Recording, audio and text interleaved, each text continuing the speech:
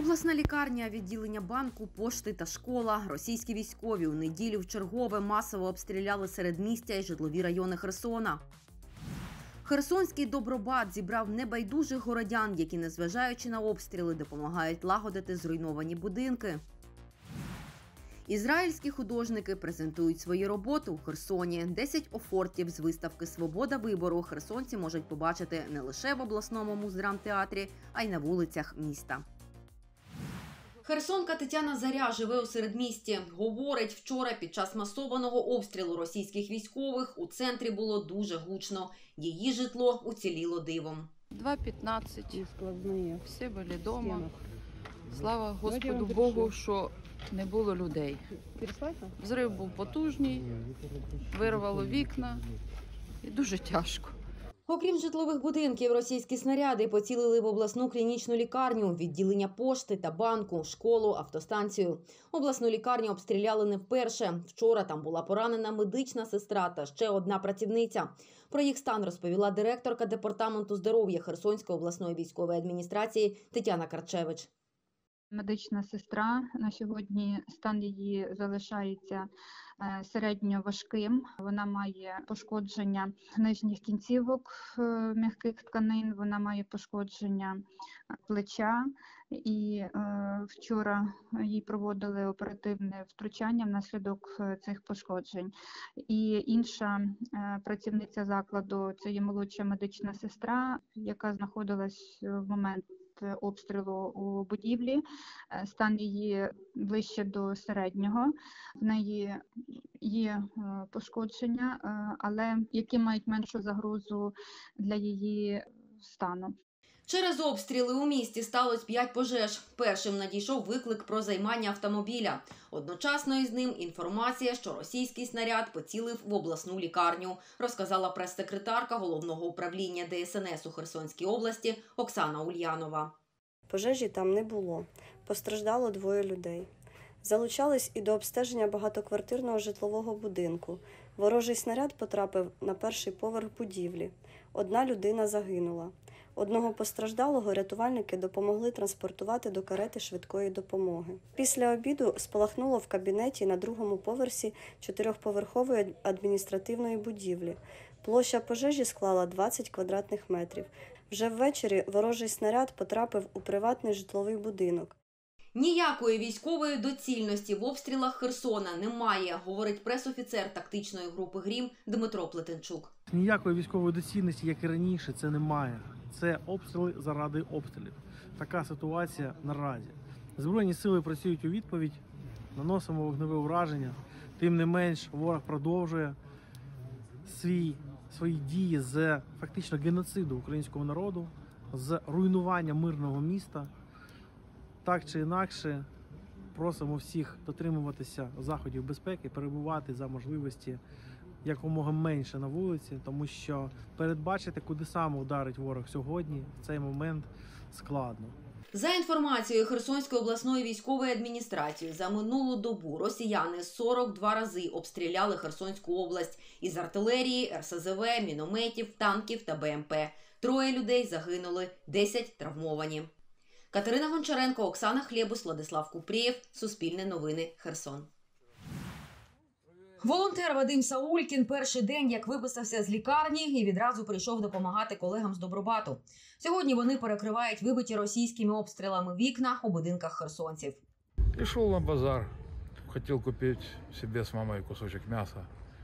Шел через сквер, и возле Девы Марии прилетело две мины. Ну, прямо возле меня. Парень 20 метров от меня умер. А меня, боженька, сохранил для чего-то. У мирному житті херсонець мав фермерське господарство на лівому березі, писав вірші, займався благодійним фондом. У меня как ноги не стало, теперь я стал, стал совсем другой человек. У меня теперь, наверное, совсем другие приоритеты. Наверное, совсем другой смысл жизни. Ну, вообще все заново, с нуля. Хочу начать вообще новый лист. Мне просто много помогали люди. Я знаю, что это такое, когда тебе помогают, и какая у тебя благодарность от этого к этим людям. Вот это и надыхает. Помощь, оказанная мне когда со многими людьми. До волонтерського руху Вадим долучився відразу після деокупації Херсона. На Ларису Бортовик, координаторку Херсонського осередку Добробата, вийшов через Миколу Сергу. Добробатівці допомагають відновлювати житло та інфраструктуру. Десь 4 грудня ми зробили десь 10 об'єктів приблизно, але деякі об'єкти були великими, наприклад, як університет.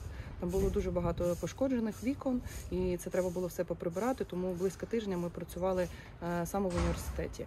А так багато залежить від обстрілів, е, тому що ми плануємо їхати, наприклад, на об'єкт. Починаються обстріли, і ми ж розуміємо, що ті об'єкти, ну які ми е, відбудовуємо, це які постраждали там ці дні. Так і тому ми, звісно, за безпеку, тому ми чекаємо кінця тиші і тільки потім виїжджаємо.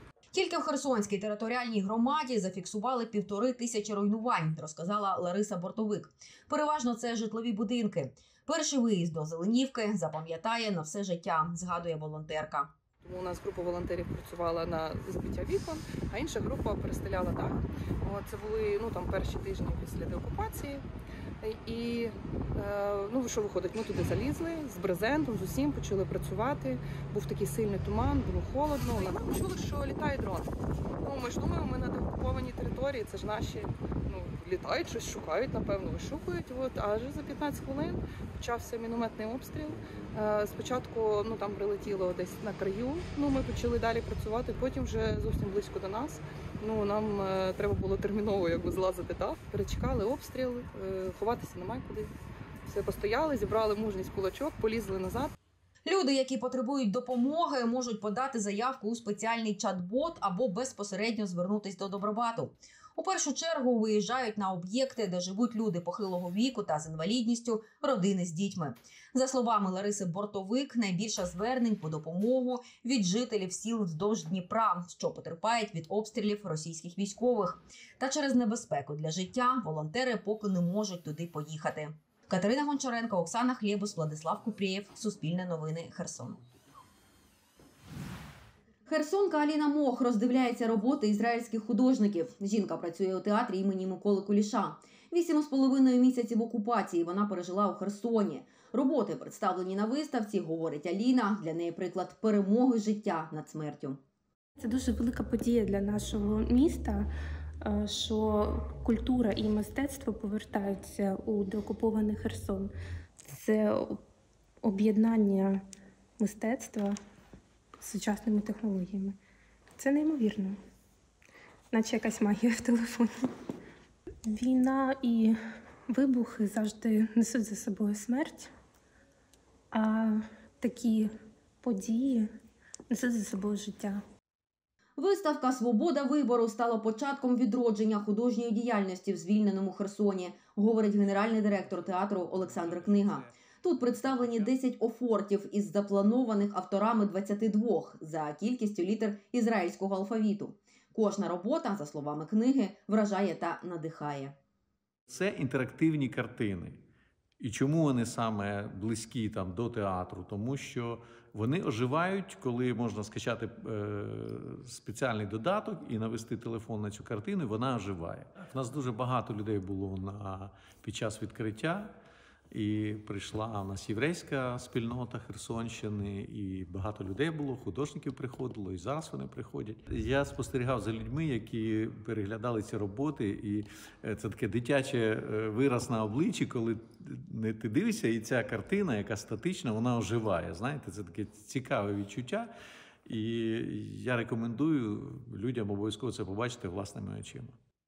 Виставка Свобода вибору частина мистецького проєкту Емоції друзів, розповів художник і арт-менеджер Геннадій Гудгард. На ній представлені роботи художників із Ізраїлю Сергія Бунькова і Тено Соостера. Експозиція складається з двох частин. Перша частина це мультимедійні афорти, я їх так пробую називати. Це справжні афорти, які син Сергія Максим Буньков додав туди е, анімації, доданої реальності. Потім через е, спеціальний застосунок, якщо ти дивишся на них, вони оживають, вони починають е, рухатись, е, звукове супроводження відбувається. А друга частина це е, просто картини Сергія Бунькова. Серед них є серія Україна в огні. Херсонщину для презентації виставки обрали не випадково, адже її концепція поєднується з духом українського авангарду та футуризму, притаманним місцевим митцям. Проєкт емоції друзів подорожує містами, які постраждали від російської агресії. Я розумію, що це дуже актуально, бо люди живуть, місто живе, е, емоції потрібні, е, емоційний стан дуже важкий. Е, В Херсоні, наприклад, ти дуже швидко звикаєш до постійного артобстрілу. Наприклад, 5 хвилин не стріляють, ти вже звертаєш увагу на це. Я сприймаю е, Херсон як місто з е, історичним бекграундом, культурним бекграундом. Е, Місто мені подобалось завжди, і я його люблю, і я відчуваю боль тих людей, що зараз там знаходяться. Виставка в Херсонському театрі триватиме до середини лютого. Основна її частина розташована в приміщенні, а два офорти встановлені на вулиці біля постамента, з якого окупаційна влада вивезла пам'ятник Потьомкіну. Катерина Гончаренко, Марина Круглова, Григорій Шматко. Суспільне новини Херсон.